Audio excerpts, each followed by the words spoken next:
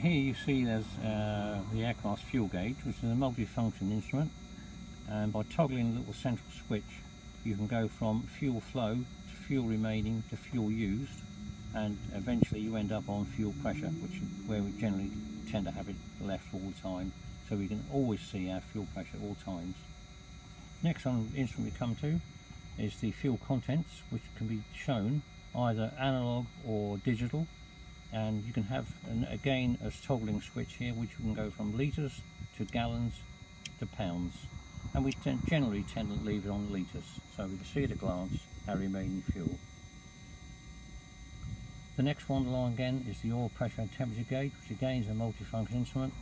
You have both analog and digital readout um, and we have the PSI to the left and temperature to the right.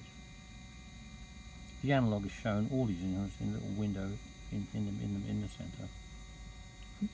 The next one along is the, uh, the volt and amp, amp meter, which shows the amps being drawn by the system and the volts would sh show a continuous readout of the battery state.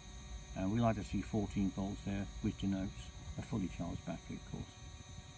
The next instrument along is a temperature gauge, which gives us exhaust gas temperature, carb heat temperature, and more importantly, the OAT, the outside air temperature. And today on the ground here, it's uh, plus 8, which is quite nice compared to what it has been.